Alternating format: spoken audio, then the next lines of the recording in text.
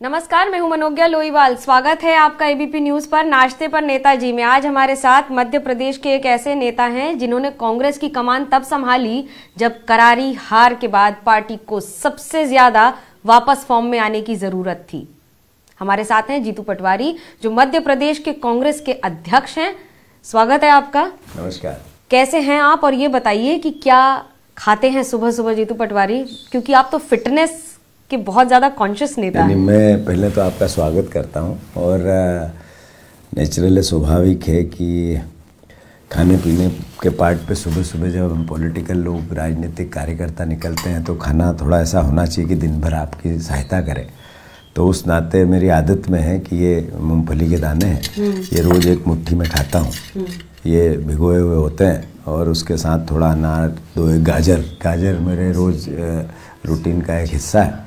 और अंडे चूँकि प्रोटीन कंटेंट भी बना रहेगा तो इसलिए अंडे का रोज़ सेवन करता हूँ मैं दो तीन चार अंडे का वाइट वाला हिस्सा खाता हूँ। और जूस हाँ ये ये जूस है असल में ये जूस है चकुंदर का। हेल्दी होता है आपकी ब्लड से संबंधित बातें ये वो बाकी तो आप मेरे से बेहतर आपके दर्शक भी ज़्यादा जानते हैं तो ये सुबह का होता है। ऐसा क्यों हो रहा है कि महागठबंधन की या फिर हमारे पूरे जो सब चल रहे हैं साथ में इंडिया गठबंधन खासतौर से उनकी क्या साइकिल अभी पटरी पर है कि उतर गई है? पहिए अलग अलग हो जाते हैं क्या कि ब्रेक लग जाता है बीच बीच में? नहीं राजनीतिक क्षेत्र में जिस दौर से हम लोग गुजर रहे हैं ये भारतीय राजनीति में मतलब आ, के हितकर नहीं है। और इसको भी हम मानते हैं कि बिल्कुल सही है कि इंडिया गठबंधन जो अलायंस मिला है वो देश के किस नेरेटिव के लिए मिला है?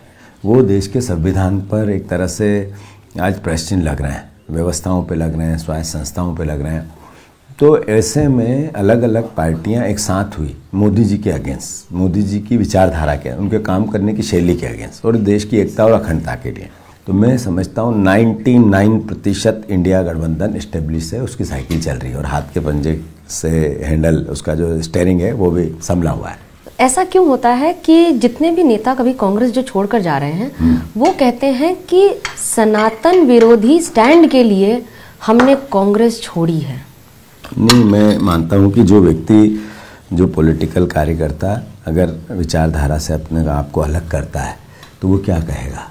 कि मेरे तुम्हें तो अब मेरे ये स्वार्थ है इसके लिए जा रहा हूँ। ये तो नहीं बोला। कुछ तो बहाने बनाने चाहिए उसको। बनाना भी है। अगर कोई ये कहता है तो कांग्रेस पार्टी तो एक दिन नहीं एक हज़ार बार ये कह चुकी है कि हम संविधान से जो निर्णय होते हैं उससे प्यार करते हैं, उसी को मानते हैं और संविधान इस देश को संगठित रख सकता है। उसके बगैर दुनिया, संसार में इंडिया नंबर वन नहीं आ सकता। दुनिया में नंबर वन नहीं आ सकता। तो जब राम मंदिर मसला चल रहा था, तब राजीव जी सरकार में थे, सुप्रीम कोर्ट ने कहा, ताले खुलवाने चाहिए। तो निर्णय जो सुप्रीम कोर्ट का है, कोर्ट का था, वो राजू जी ने माना, सर्वविदित है। फिर कांग्रेस पार्टी ने एक हज़ार बार बोला कि आप जो कोर्ट फैसला देगी वो होगा, अगर मंदिर बनाने का देगी तो होगा, और कोर्ट ने फैसला दिया। उस समय देश की सरकार में मोदी जी थे।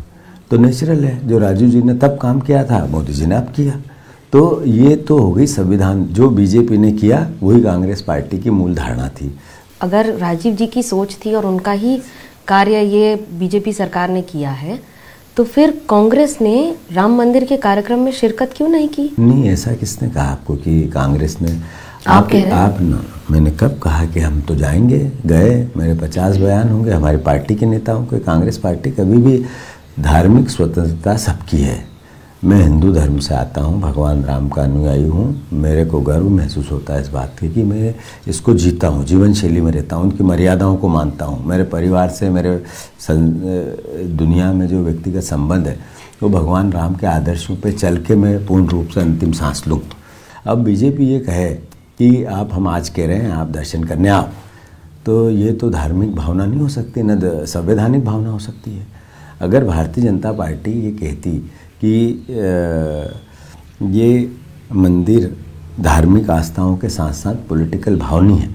तो फिर देश की राष्ट्रपति थी, उनको आमंत्रित क्यों नहीं किया? क्या कारण था ये पॉलिटिकल आयोजन नहीं किया था आपने?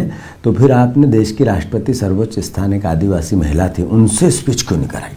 भगवान राम की आस्थाओं में कांग्रेस पार्टी अपने आप को जोड़ती है, जोड़ेगी और अंतिम सांस तक हमारे जैसे अरबों कार्य खरबों कार्यकर्ता, नेता पार्टी के वर्कर आम जनता जो जिस धर्म का है उसको जिएगा। जब राम मेरे हैं और आपके हैं मैं राजनीति में नहीं हूँ।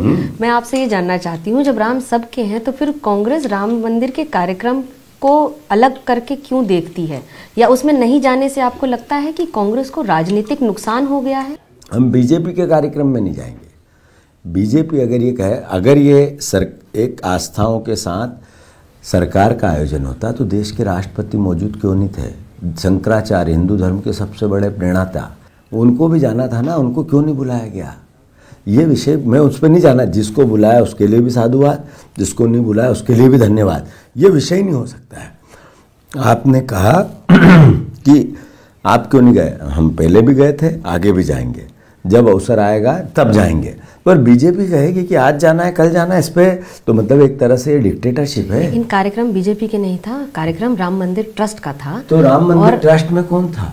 मेरा काम है सवाल करना क्योंकि राम मंदिर ट्रस्ट में चंपत राय जी और बाकी सब हैं। कौन है चंपत राय जी? वो विश्व हिंदू परिषद से हैं। अच्छा किसने तय किया संपत राय जी ट्रस्ट के चेयरमैन होंगे? पहले इससे पहले कौन था? मैं ये नहीं इन विषयों पर नहीं जाना चाहता। बीजेपी ने आयोजन किया अपने राजनीतिक लाभ के लिए। हम उनका अधिकार कर सकते होंगे। मैं इसको इसको किसी प्रकार का क्रिटिसिज्म नहीं करना चाहता। पर भगवान राम की आस्था और कांग्रेस पार्टी का रिश्ता, जो प्रश्न है, राम हमारे हैं, राम सबके हैं, हम राम मंदिर जाएँगे बार बार जाएँगे, सौ बार जाएँगे, एक हज़ार बार जाएँगे, एक लाख लोग जाएँगे। मुझे ये बताइए कि क्या कांग्रेस में कोई आइडियोलॉजिकल क्राइसिस हो रहा है कि लोग इतना छोड़ छोड़ कर जा रहे हैं और संभाल नहीं पा रहे हैं? ज़रूर राजनीतिक लाभ हमेशा कांग्रेस पार्टी को मिले, ज़रूरी नहीं, यही तो लोकतंत्र है। राजनीतिक लाभ दूसरे के हिस्से, देश की और पार्टियों के हिस्से भी आ सकता है। पर अभी जो दौर है, उसमें लोकतांत्रिक की सारी मर्यादाएँ समाप्त होने लगी है। इसलिए लोग छोड़ छोड़ के जा रहे हैं। छोटे स्तर पर तेईस नेताओं की list, India Times of India में एक लिस्ट छपी है। तेईस लोगों ने ईडी और आईटी की अलग अलग जाँच एजेंसियों ने उन पर कार्रवाई की। सब बीजेपी में चले गए। काम बंद प्रफुल्ल पटेल हो गए, अशोक चौहान हो गए, शरद पवार के भतीजे हो गए, हेमंत विश्वास हो गया, शिवराज सिंह चौहान हो गए। जैसे पच्चीस और होंगे। मैं नाम बता सकता हूँ। तो इन पर नज़रिया उनका इस तरीके का है कि वो बीजेपी ज्वाइन करे तो हम छोड़ दें। यही कि यही फिनोमा नीचे तक आ रहा है। यही प्रदेश में आ रहा है, यही ज़िले में आ रहा है। बीजेपी का कंटेंट बनने लग गया, जिसपे छोटा मोटा अपराधी है जो रहते कि टेंडर जिसको देना है उसकी रॉयल्टी है उसको बचाना है चोरी करवाना है तो आओ बीजेपी में। जिसको क्रेशर है क्रेशर की रॉयल्टी की चोरी करना है आपको जाना आ जाओ बीजेपी में। जिसकी गाड़ियाँ हैं। जब तक वो नेता कांग्रेस में रहते हैं तब तक ठीक है। बीजेपी में जाते हैं तो वो चोरी करते हैं इसलिए चले गए। विषय यह है आपने कहा आइडियोलॉजी का पार्ट इसका आइडियोलॉजी संबंध नहीं है। इसका लालच से संबंध है लोभ से संबंध है डर से संबंध है। इसका अपने कुकर्मों को छुपाने से संबंध है। जो जाने के में नेता कुकर्म कर रहे थे। वो बीजेपी में छुपाने के लिए जाते हैं स्वाभाविक है। तो आप कांग्रेस में कुकर्म कर रहे हैं। No no no no. आप इसको किस तरीके से लेते हैं मुझे नहीं पता पर मैं आपसे पूछता हूँ कि अभी एक व्यक्ति है एक एमएलए है उसकी पत्नी पर लोकायुक्त की जाँच चल रही थी। छियालीस करोड़ रुपए की। वो बीजेपी में चला गया। एक एक भी आदमी ऐसा, जिस पे किसी प्रकार की कोई जाँच नहीं चल रही, और वो बीजेपी में चला गया हो तो मुझे नाम आप बता दें। बीजेपी का फिनोमा ऐसा है कि मोदी जी के शासनकाल में ये नियम बने हैं, एक धारणा बनी, परंपरा बनी, करप्शन करो, क्राइम करो, देशद्रोह भी करो। बीजेपी के नए पाँच, दस नेता पकड़े गए हैं अलग अलग आतंकवादी संगठनों से उनके रिश्ते हैं, आज भी अखबारों में हैं। वो सब करो, पर बीजेपी में रहो तो कोई बात नहीं। अगर दूसरे दल में हैं तो फिर आप बीजेपी ज्वाइन करो। ये मैंने फिनोमा आप किसी एक व्यक्ति का नाम लेके मुझसे पूछेंगे तो मैं जवाब दे दूँगा। देश से लेके ज़िले तक प्रदेश कमलनाथ जी की बात बनी नहीं क्या बीजेपी में जाने की कि आप रोकने में सफल हो गए? ये काल्पनिक बातें हैं। कल्पना की बात थी अगर कमलनाथ जी को बीजेपी में जाते तो फिर कांग्रेस से उनका बेटा चुनाव कैसे लड़ता? आज लड़ रहा है। जब तक सक्सेना जी बीजेपी में नहीं गए थे तब तक अच्छे थे कांग्रेस में। नहीं बात अच्छे और अब वो चोर और अब उनके ऊपर आरोप लग गए। फिर वही बात आप इसको अगर उस नज़रिए से लेंगे तो मेरे पास सुबह सुबह इसका नेगेटिव उत्तर नहीं है पॉजिटिव उत्तर है। जिस व्यक्ति के साथ वो पैंतालीस साल से थे क्यों छोड़ा? इस समय जब चुनाव चल रहा है जिनने सात बार सांसद बना दिया नौ बार टिकट दे दी क्यों छोड़ा? कारण बताया उनने कि मैंने इसलिए छोड़ा आइडियोलॉजी के लिए नहीं छोड़ा। उनने क्यों छोड़ा उनको ही पता नहीं पचौरी जी, जो एक हमारे नेता हैं, वो चार बार सांसद, केंद्रीय मंत्री, प्रदेश के अध्यक्ष सब रहे। क्यों छोड़ा? उनको ही पता नहीं। उनने ये कारण बताया, वो कारण जस्टिफाई नहीं होते हैं। वो वो बहाने दिखते हैं। तो नेचुरल है कि जब चुनाव विधानसभा के थे, उससे पहले सौ लोग ऐसे, जो पाँच पाँच हज़ार कार्यकर्ताओं के साथ कांग्रेस ज्वाइन की, फिर भी बीजेपी जीत गई। इनके आने जाने से कार्यकर्ता के आने जाने पे फ़र्क नहीं पड़ता है। ये लालच से भरे पूरे लोग हैं। स्वार्थ के कारण आइडियोलॉजी को कभी आत्मसात नहीं करते स्वार्थ को सर पे रखते हैं। और ऐसे लोग हमारा भला नहीं कर सके। तो बीजेपी का भला क्या करेंगे? बहुत बड़ी बात कह रहे हैं क्योंकि हाँ। बीजेपी दावा कर रही है कि इस महीने एक लाख कांग्रेस कार्यकर्ता मध्य प्रदेश में बीजेपी में शामिल हो रहे हैं। खुशी होती है मुझे जिस कमरे में सौ लोग नहीं आ सकते हैं उसमें वो कहते पाँच हज़ार ने ज्वाइन किया। खुशी होती है मुझे ये सोच के इनकी इनकी मानसिक स्थिति को देख के ये लोगों को भ्रमित करके उन पर राज करना चाहते हैं। नेचुरल एक दिन सच सामने आएगा। ऐसा क्यों कहा जाता है कि कांग्रेस में परिवारवाद है बहुत ज़्यादा जिसका नुकसान कांग्रेस और कांग्रेस के कार्यकर्ताओं को हो रहा है? मैं किसी राजनीतिक परिवारवाद से आता हूँ। मेरे पिताजी एक साधारण किसान है मिडिल क्लास के। हमारा पूरी पृष्ठभूमि एग्रीकल्चरिस्ट और समाज सेवा की रही है। कोई चुनाव नहीं लड़ा नहीं था तो मैं कौन से परिवारवाद से आया? इसके उल्टे मैं ये नहीं कहना कि जो परिवारवाद से आता है तो भी वो जनता के बीच जाता है चुनाव लड़ता है चुनाव जीतता है।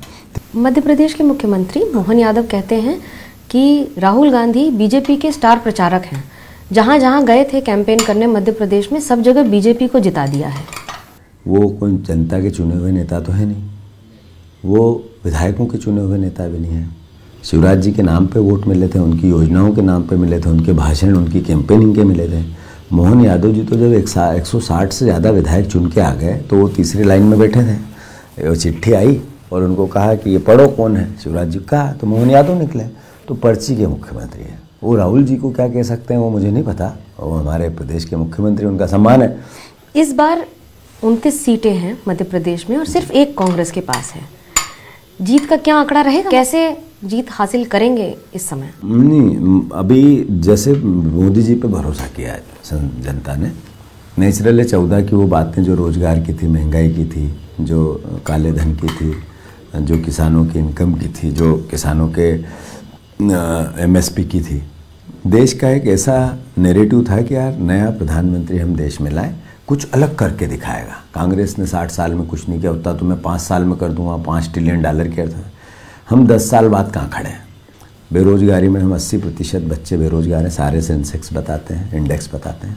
हम 80 करोड़ लोगों को पाँच किलो राशन देते हैं। यानी गरीबी रेखा में भी हम नंबर वन है। करप्शन का जो क्राइम रेट है, वो कितना है?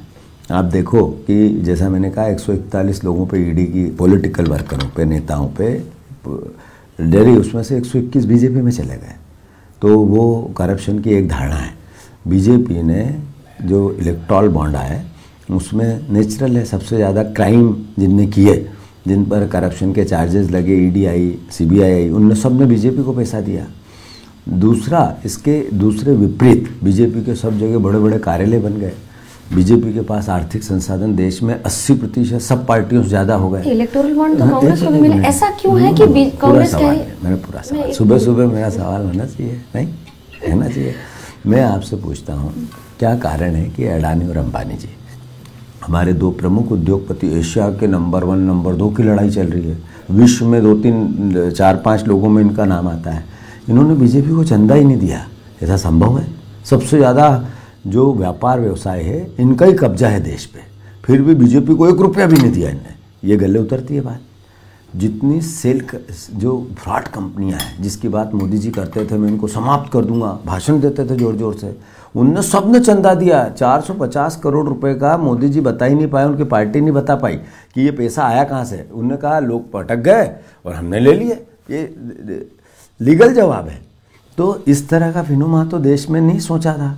अब उल्टे इसके विपरीत जो विपक्ष के लोग हैं जेलों में हैं उन पर केस चल रहे हैं। बीजेपी में जाते हैं तो जैसा मैंने कहा वैसा हो जाता है। तो आप मुझे ये बताइए कि इस समय वर्तमान में उनतीस सीटों में से कितनी सीटें कांग्रेस जीतेगी? क्योंकि बीजेपी कह रही है हम छिंदवाड़ा भी जीत जाएँगे। मेरी स्थिति तो ऐसी है मैं ऐसा सोचता हूँ कि ज़्यादा से ज़्यादा सीटें हमारी जीतें। हमारा आकलन है चौदह सीट कैसे भी हम जीतना चाहिए। लड़ाई अच्छी है रिज़ल्ट आएँगे परिणाम आएँगे तो सब आश्चर्यचकित रहना चाहिए। ऐसा लग रहा है कि जिस तरह से लड़ाई हो रही है और एक के बाद एक लोग छोड़कर जा रहे हैं कांग्रेस अपना वर्चस्व बरकरार रख पाएगी आपको लगता है कि छोड़ के जा रहे हैं? फिनोमा बनाया जा रहा है। आप और प्रदेश की मानसिकता जो, जो पुराने लोग छोड़ के जाएँगे तो कांग्रेस तो कमज़ोर होगी ना। कचोरी जी गए मान लो। हम्म। सबसे बड़े नेता थे हमारे। मैं मानता हूँ कि वो जितने लोकसभा लड़े सबका रिज़ल्ट है सामने। मैं नहीं बोलना चाहता। जितने विधानसभा लड़े उसका भी रिज़ल्ट है सामने। क्या युवा बागडोर संभालेंगे कांग्रेस की? सौ प्रतिशत संभालेंगे इसमें मैं कोई गोता ही नहीं बरतूँगा। हमें मुझे जिम्मेवारी मिली है नई और एक ईमानदार और नई सोच की पार्टी बनाने की जिसमें नए लोगों को स्थान मिले। S T S C O B C का थोड़ा वर्चस्व बढ़े। ये ये फोकस है और मैं चूँकि अभी मुझे दो ढाई महीने हुए हैं तो लोकसभा के चुनाव भी हुए, उससे पहले भी काम ज़्यादा था। तो जैसे ये काम होगा, मैं नया स्ट्रेंथ संगठन ऐसा, जो आइडियोलॉजिकल एक नंबर विश्व में सबसे अच्छी पार्टियों का संगठन है, उससे भी अच्छा बने, इस पर काम करूँ फ़िलहाल तो ज़िंदगी में चुनाव जीतना बहुत ज़रूरी होगा, क्योंकि वोटर है जो आपकी रिपोर्ट कार्ड बनाएगा। जीतू जी, हमसे बात करने के लिए बहुत बहुत शुक्रिया। फ़िलहाल कैमरा पर्सन होमेंद्र और सूरज पांडे के साथ मुझे मनोज्ञा लोहीवाल को दीजिए इजाज़त। खबरों का सिलसिला एबीपी न्यूज़ पर जारी है।